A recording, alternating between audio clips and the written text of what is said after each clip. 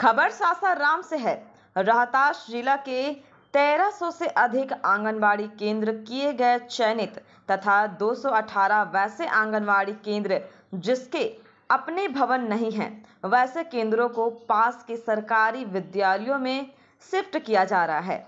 आज इसको लेकर शिक्षा विभाग के अधिकारियों एवं आईसीडीएस के अधिकारियों के साथ जिला प्रशासन के द्वारा बैठक आयोजित की गई। बैठक में निर्णय लिया गया कि बाल विकास परियोजना विभाग एवं शिक्षा विभाग के सामंजस्य से जल्द से जल्द 15 अगस्त से पहले इसे पूरा कर लिया जाए, जिसको लेकर डीआरडीए सभागार में बैठक भी आयोजित की गई। प्रत्येक दिन पाँच से छः आंगनबाड़ी केंद्रों को विद्यालय से अटैच कर दिया जाए ताकि छात्रों को परेशानी नहीं हो।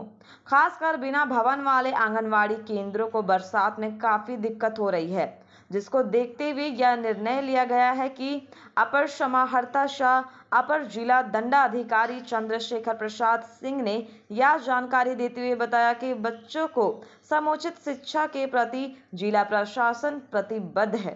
के साथ साथ आईसीडीएस की भी बैठक थी। आईसीडीएस की डीपीओ सारे सी लोग शिक्षा विभाग के डीओ साहब, डीपीओ और उनके ब्लॉक एजुकेशन ऑफिसर, सभी थे वहाँ उपस्थित।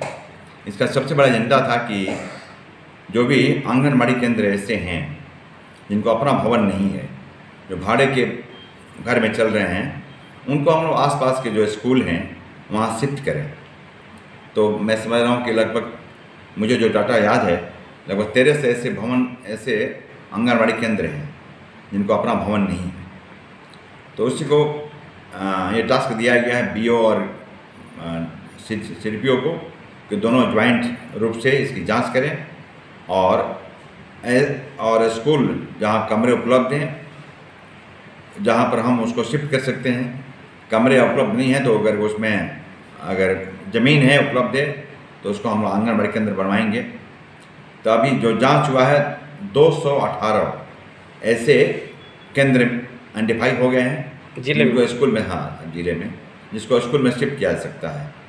तो आज के बैठक में जिलाधिकारी महोदय द्वारा निर्देश दिया गया है कि हर पाँच पाँच लगभग जितने अपने यहाँ अपने अंचल हैं जहाँ प्रोजेक्ट चलता है एच का वहाँ पाँच चार आज इतना करना है कि आज पाँच आई केंद्र को sorry I C D S मैंने वही आंगनबाड़ी केंद्र को आंगनबाड़ी केंद्र को स्कूल में शिफ्ट करना है।